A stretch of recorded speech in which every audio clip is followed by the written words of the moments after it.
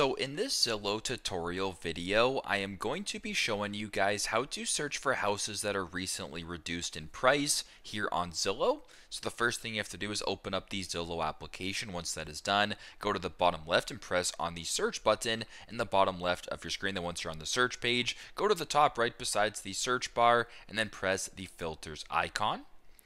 Then when you're on the filter screen, simply just scroll down to the bottom. Keep scrolling till you get to the popular filter section right here. And the second, you know, option down is the price reductions only. So by pressing this button right here, uh, you now have that checked. And by going to the bottom and pressing on see results, you can now view houses that have currently been, um, I guess, reduced in price that are now appearing on Zillow. So pretty straightforward. Uh, that is how you guys can search for houses that are recently reduced in price here on Zillow. Thanks again for watching, and I hope this video helps.